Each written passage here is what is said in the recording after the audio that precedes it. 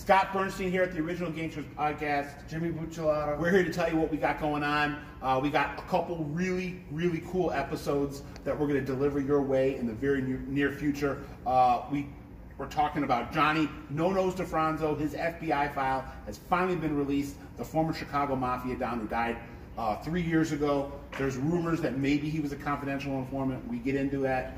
And we're going to start breaking down what happened in New York last week. Albert Martinez, also known as Alpo, New York street legend, gunned down in Harlem last week. He'd been in witness protection program. Making his way back to New York. Didn't turn out so well uh, in that homecoming.